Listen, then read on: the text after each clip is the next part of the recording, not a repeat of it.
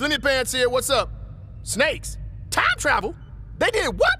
How the f did... Okay, okay, I'm on it. We got a 1051 on a goddamn snake planet. Don't look at me. I'm afraid of snakes. I'm afraid of snakes. Bullshit. You afraid of work. That's what you afraid of. All right, all right. Let's go take care of this.